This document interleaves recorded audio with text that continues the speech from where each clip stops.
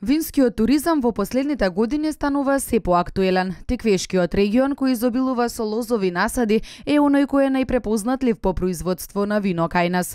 Пријатни домаќини кои раскажуваат за приказната поврзана со процесот на создавање на виното е она што ги привлекува домашните, но и странските туристи да ги посетат бројните винари во Теквешијата. Винскиот туризам во Тиквешкиот регион изобилува со многу винари кои што имаат организирани вински дегустации и организирани вински тури кои што предходно ги прават со одредени туристички агенции и туристички оператори. Но сепак и тоа се случува кај и поединечни туристи без разлика дали се домашни или странски, тие доаѓаат и ги искусуваат сите тие убавени кои што може да ги понуди винскиот туризам. Локацијата на винариите Вели Јанчева дополнително придонесува тие да бидат примамливи за посетителите. Сите винари во Тиквешкиот регион прилично се лоцирани на некој брдови дел кој што сепак дава и една поубава атракција и попривлечност за да вие комплетно одите таму и уживате во винскиот туризам со чаша добро вино.